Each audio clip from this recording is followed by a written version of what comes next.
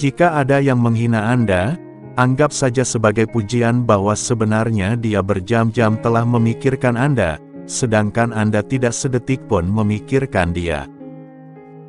Di mana pun engkau berada selalulah menjadi yang terbaik dan berikan yang terbaik dari yang bisa kita berikan. Cinta tidak berupa tatapan satu sama lain, tetapi memandang keluar bersama ke arah yang sama. Kesetiaan berarti ketulusan untuk menyimpan satu hati di dalam hati, dan berjanji untuk tidak mengkhianati. Cinta sejati itu memandang kelemahan lalu diubah menjadi sebuah kelebihan untuk selalu mencintai. Cinta adalah energi positif yang bisa menggerakkan kehidupan menjadi lebih indah.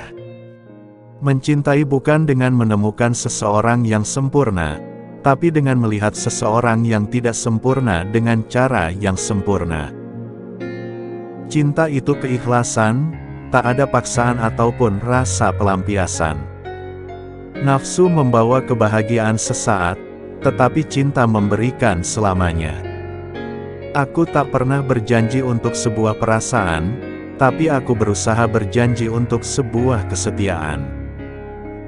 Kekurangan terhadap pasangan menjadi sesuatu yang membuat hubungan seharusnya saling melengkapi.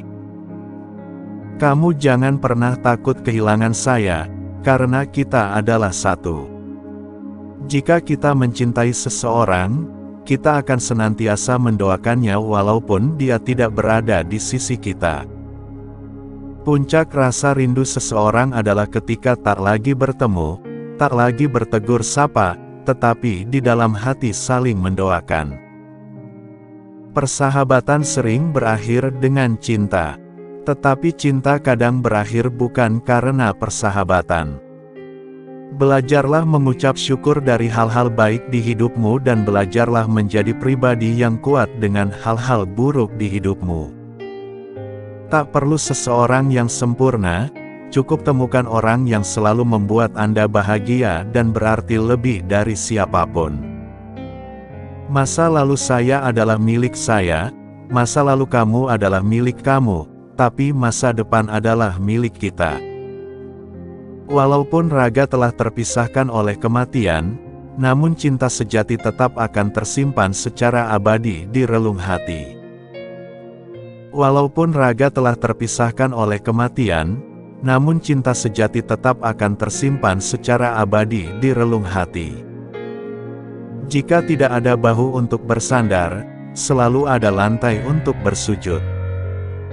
Hiduplah kamu seperti akan mati besok dan berbahagialah seperti kamu akan hidup selamanya.